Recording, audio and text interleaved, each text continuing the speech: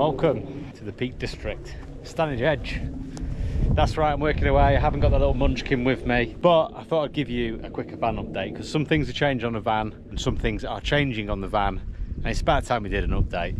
We've got Van Life Fest in two weeks, which is probably just coming up now from now. And um, yeah, there's a few updates I need to give you, so uh, let's get on with those. So the first thing to talk about is I've wanted to put that on the van for a long time. So we've got one on that side, we've got one on the other side as well. I'm proud to be British. I know it's the United Kingdom flag, but proud to be British. We've got it on the front as well. Don't know if I showed you those plates before, but yeah, we've got those uh, those plates. Auxbeam have sent me through some new lights for the bonnet. I've had those fitted uh, and also I have got some brackets from Mule Vans. So they fit absolutely perfect, like a glove, solid, ain't going nowhere. So I'm really happy with those.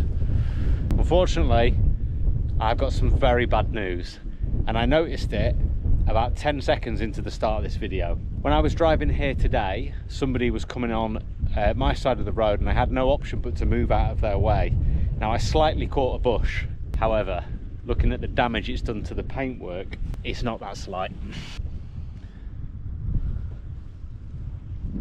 As if that's not bad enough. That line continues all the way down. All of this is scratched here as well. And it goes all the way down the doors. I think that's it. If you're thinking of rolling your van or painting it or spraying it in matte, that's what you've got to look forward to. Getting pushed out of the way into a bush and scratching your van. That is not ideal.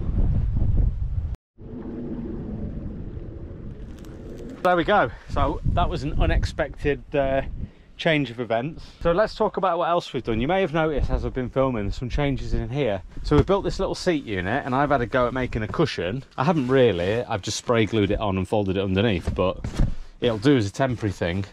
At the end of the day, all I need to do is sit on it. So that's a temporary thing.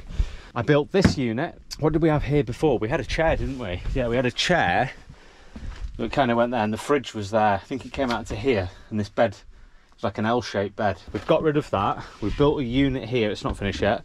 Um, I went away at the weekend to Haven. I may have already said this on the last video, I'm not sure. But I'm thinking of having a countertop that folds up, just purely so I can get to things underneath. Yeah, whether the whole thing lifts up as a oneer or there's three different sections or two sections, that's what we're looking at at the moment. We've also added a fold-up table, which is great because it means that I can sit down here and I can prep food or I can cook or I can do some work, I can do some YouTube videos, whatever it is I need to do. And to be honest, I could just sit here with a cup of coffee and just enjoy this beautiful view. By the way, do you like the haircut?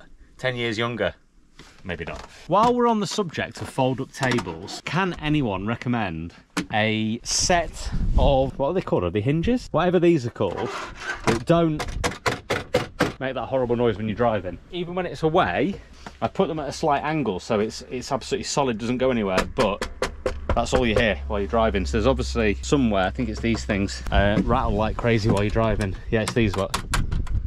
So if anyone's got some and they don't rattle, please leave me a comment uh, even if you haven't got some and you know where you can get good quality ones from, then let me know because I need to get some really good quality ones because they are really annoying. Oh, underneath here as well is the fridge. So that's where we keep the fridge.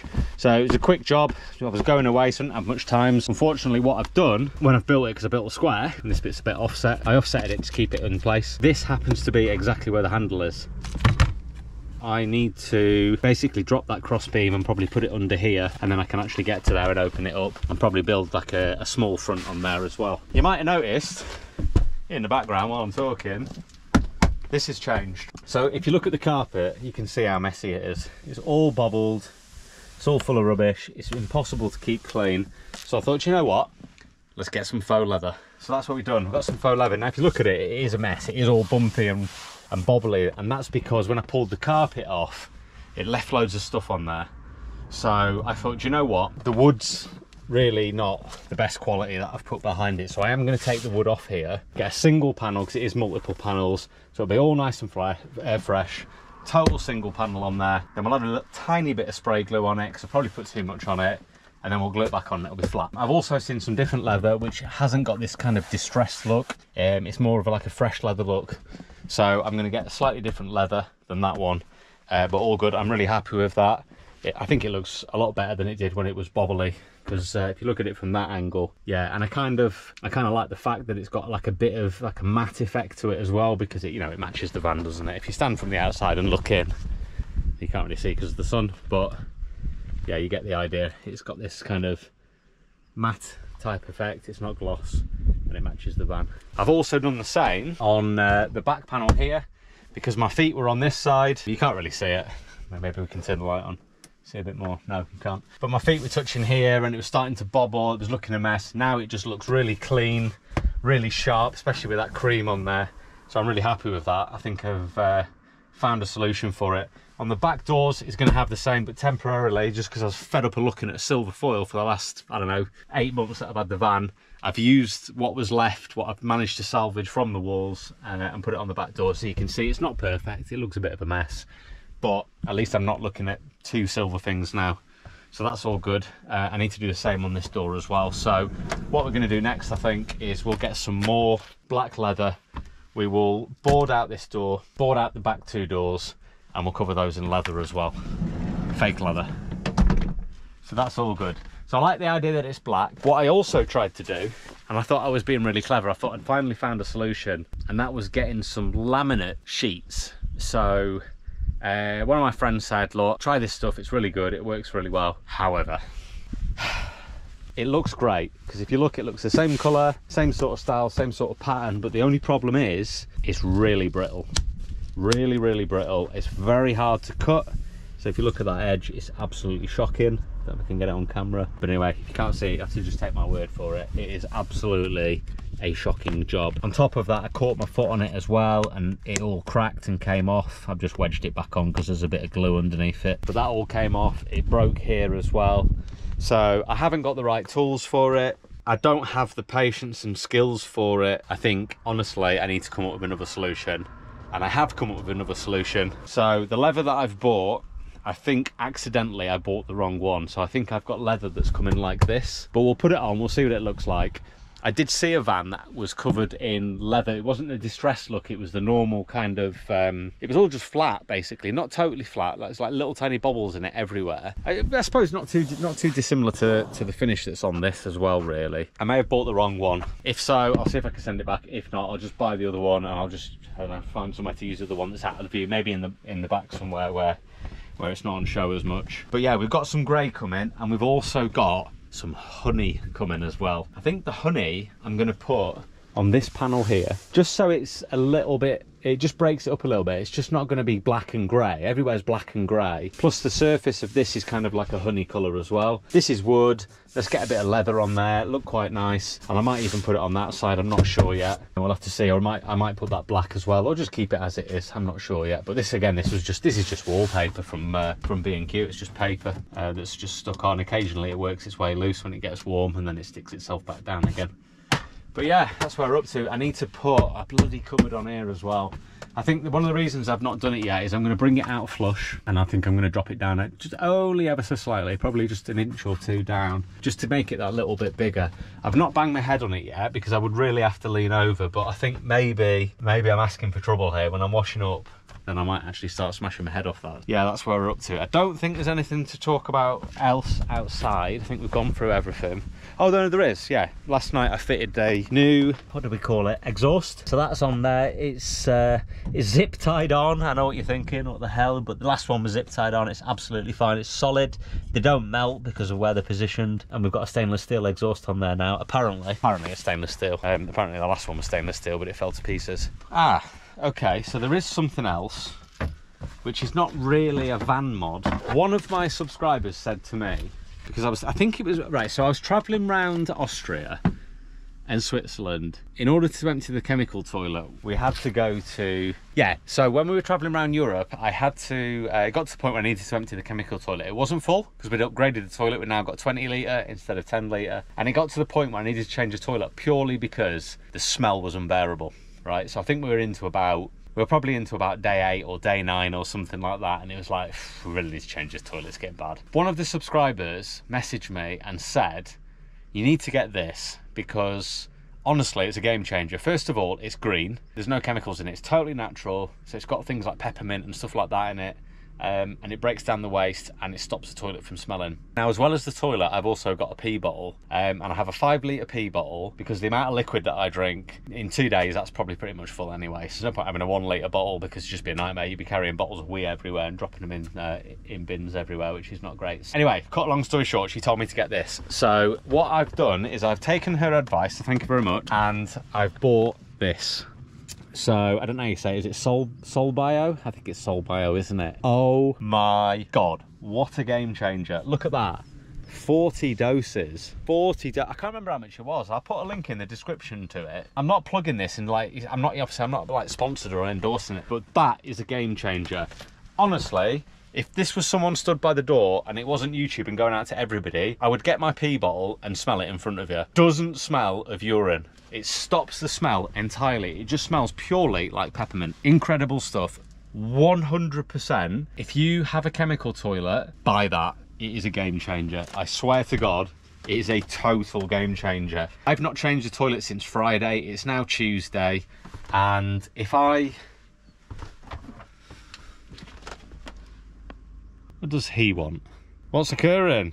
Well, I don't know. You're actually on uh, you're you're on YouTube at the moment because I'm in the middle of doing a van build update. I'm. Let me just stop my camera. Right. Well, Alex has gone now. Quick chat with him. That was good. Good to catch up. Where was we up to? I can't even remember now. I can't even remember. Uh, oh, we was talking about toilet chemical cleaner, wasn't we? That's what we was talking about. Yeah. This stuff is absolutely fantastic. A couple of other things to talk about. Auxbeam have sent me their new dual switch panels. I'm going to have a panel in the front so I can control my light bar and my bonnet lights, also by Auxbeam, both of them.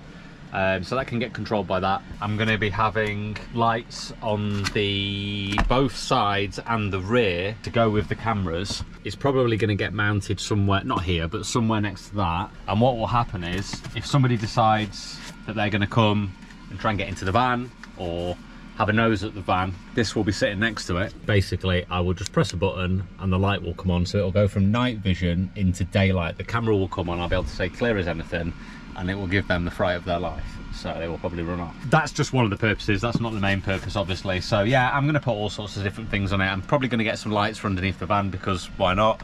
Uh, I'm going to put the Maxxair fan onto it as well so I can turn that on whether I'm sat in the front or sat in the back so I don't need to use the remote. The remote is here it never gets used it just sits there. Most of the time i'm stood here so i just lean up press the button job's a good. One so that's about it. You probably saw the uh, ikea spice rack in the back. I was looking for something to go because i've got this little pot thing here that i just chuck stuff in. So i thought you know what? Ikea spice rack go in there. At least i can put some stuff in. Uh, i need to cut it down obviously because it is um, it is too big to go on there. So i might actually cut it in half get another piece in the middle and uh, yeah we'll have two little shelves one next to each other.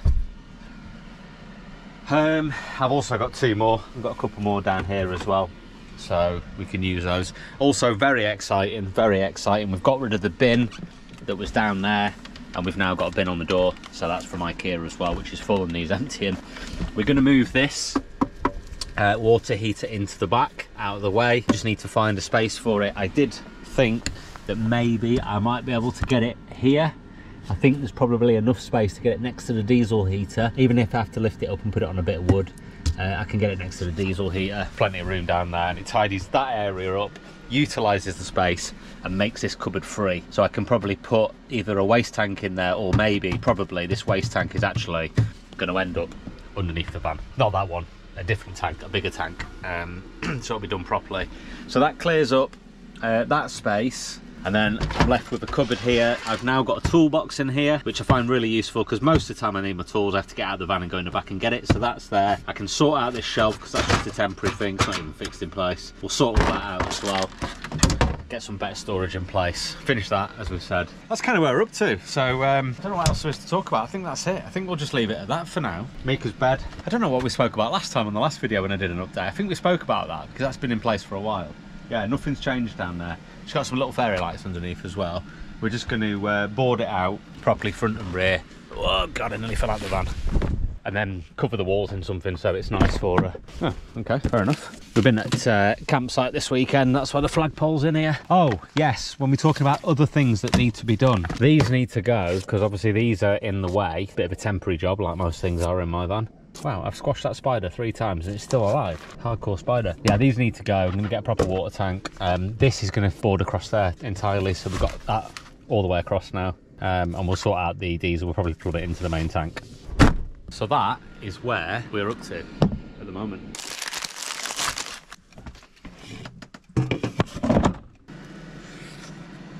Red hot, tasty. So that's where we're up to. Gonna leave it at that for now. Let me know what you think.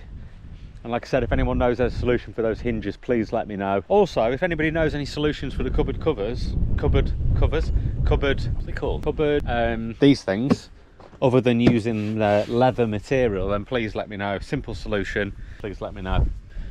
I'm gonna be painting the van this weekend. Again. Right, see you the next one.